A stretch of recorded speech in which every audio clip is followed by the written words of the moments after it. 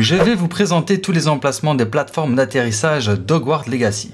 Alors il faut savoir que les plateformes d'atterrissage n'apparaissent pas sur la map même si vous zoomez au maximum. Par contre vous avez quand même une indication quand vous dézoomez au maximum et que vous allez sur la droite, il est marqué, il plateforme d'atterrissage 20 sur 20.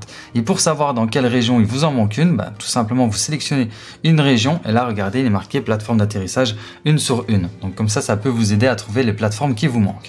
Alors bien entendu pour vous aider je vous affiche une map avec les 20 emplacements des plateformes d'atterrissage.